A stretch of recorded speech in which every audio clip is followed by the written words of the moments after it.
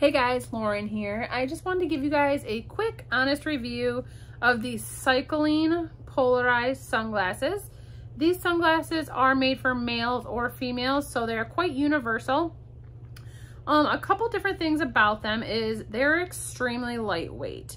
So they sit on your face great and you don't feel like they're there because they're so lightweight. And then the lenses are polarized and they're quite large. So when I put them on, you're gonna see the coverage that they have. So I'm gonna go ahead and put them on and you can see just how wide they are and how they really cover my eyes. And there's no area for the sun to get in.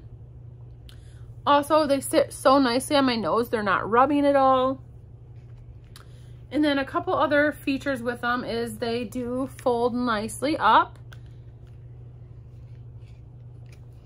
And with these um, polarized sunglasses here, they do come with a case. What's really nice about the case is that it is hard. So you can put your sunglasses in here,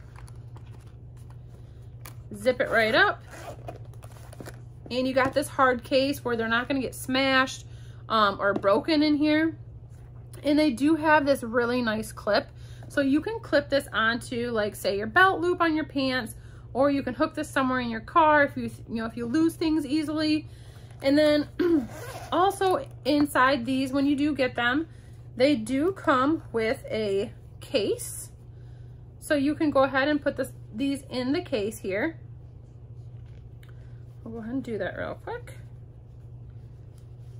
And these were um, a gift to us. So as you can see, they come in a nice case with a little drawstring on them. And then it also comes with a wipe.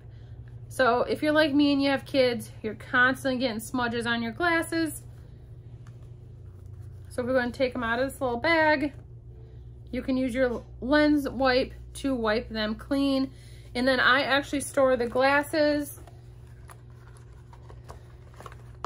I store the glasses, the baggie, and the wipe all inside here.